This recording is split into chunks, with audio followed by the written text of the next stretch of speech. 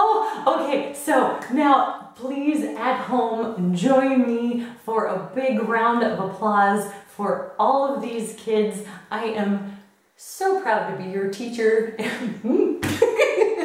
so I am so proud. You are so wonderful and you did an amazing job. And I cannot wait to see what you do next. You're amazing, you're amazing. Again. This has been the virtual Fearless Kids Show. The first of maybe many.